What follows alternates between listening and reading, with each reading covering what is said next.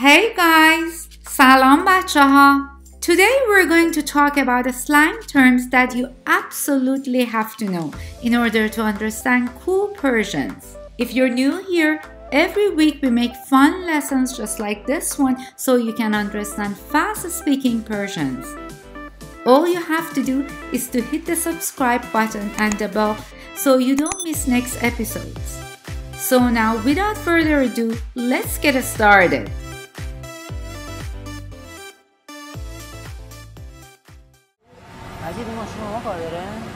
خودتون داشته باش خیلی خفنه کی؟ هست؟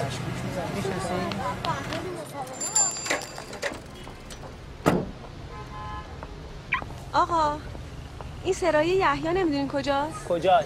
کوچه علی مرادی. سر کارتون گذاشتن خانم. از این سر تا اون تا علی مرادیه. می‌دونم. حالا کوچه اه، فلاک 27ش کجاست؟ منزل؟ سوندی؟ آره. با کی کار داری؟ کارشون دارم. با دخترشون کار دارم. چی کارشی؟ ای بابا وکیلشم می‌دونی کجا بله، آدم بله. زنده که وکیل بستی نمی‌خواد خفه برو خانم برسون دم. در خونه سری برگرد همینجاست خانم رسیدیم اون خونه آخریه دست چپیه این ماشین ما کار داره؟ خودتون داشته باش خیلی خفنه خودتون داشته باش خیلی خفنه Khafane. It's lit. It's savage. These two are slang terms for cool. Khafan is a slang and it's very informal.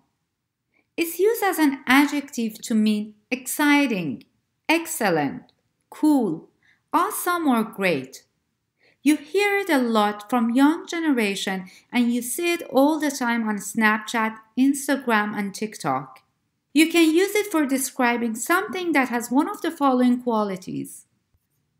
بسیار جالب Very interesting خیلی chic very stylish هیجان انگیز exciting دلهراور terrifying استثنایی exceptional و موجب فخر فروشی و پوز دادن causing pride and praise Here are some examples.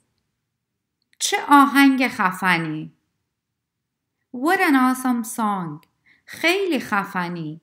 You're so awesome. خیلی خفنه. It's lit. It's savage. It's awesome. کی هست؟ میشنسی؟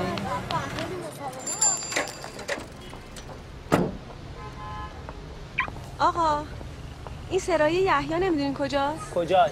کوچه علی مرادی سر کارتون گذاشتن خانم سر کارتون گذاشتن خانم سر کارتون گذاشتن. They strung you along. They put you on. سر کار گذاشتن literally means put to work. It's a slang and is very informal. It means to put someone on or to string someone along. Here are some usages. First, when you want to falsely encourage someone to believe there is hope of a good result. Second, to joke about something or to tell someone something untrue as a joke.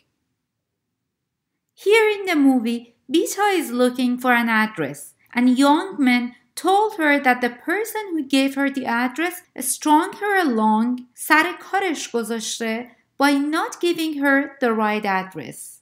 Here are some examples. نمیخوام باهاش ازدواج کنم. سر کارش گذاشتم. I don't want to marry him. I strung him along. گفت که پولم رو پس میده ولی فکر کنم که سر کارم. She said that she's gonna pay back my money, but I think I'm being strung along. فکر نکنم بیاد. حس میکنم سر کارمون گذاشته.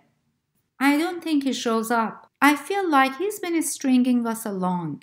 از این سر تا اون تا علی مرادیه می‌دونم. حالا کوچه اه، فلاک 27ش کجاست؟ منزل؟ سوندی؟ آره. با کی کار داری؟ کارشون دارم. با دخترشون کار دارم. چی کارشی؟ ای بابا. چی کارشی؟ ای بابا. ای بابا. ای بابا. Oh man Oh God Literally it means oh father. An interjection to show frustration, surprise, complaining, and dissatisfaction. If you talk to Persians or watch a movie, for sure you're gonna hear Ey Baba a couple of times. We use it a lot in everyday conversations to show our frustration, surprise, dissatisfaction, or even when we want to complain. In this scene, Bita is frustrated with the young man for stringing her along and asking her irrelevant questions and not showing her the direction. She finally shows her frustration by saying, Ey baba. Let's look at some common usages. Ey baba, diram shod. Ey baba, I'm running late. Ey baba, چقدر طول کشید. ای بابا It took so long. ای بابا از گشنگی مردیم. ای بابا We're starving. ای بابا خونه نو مبارک. ای بابا Congratulations on your new house. وکیلشم. می‌دونی کجا؟ بله، آدم بلدی. زنده که وکیل بستی نمی‌خواد. خفه.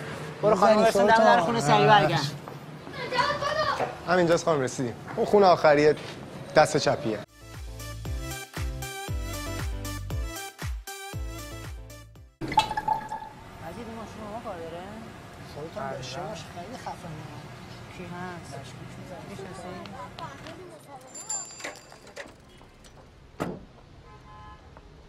آقا این سرایه یحیی نمی‌دونین کجاست؟ کجاست؟ کوچه علی مرادی. سر کارتون گذاشتن خانم از این سر تا اون تا علی مرادیه.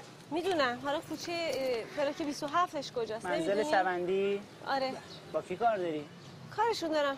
با دخترشون کار دارم. چی کارشی؟ ای بابا وکیلشم. می‌دونی کجا؟ آدم. زنده که وکیل بستی نمی‌خواد. خفه. برو خانم برسون دم. در خونه سریع برگرد. همینجاست خانم رسیدیم اون خونه آخریه دست چپیه.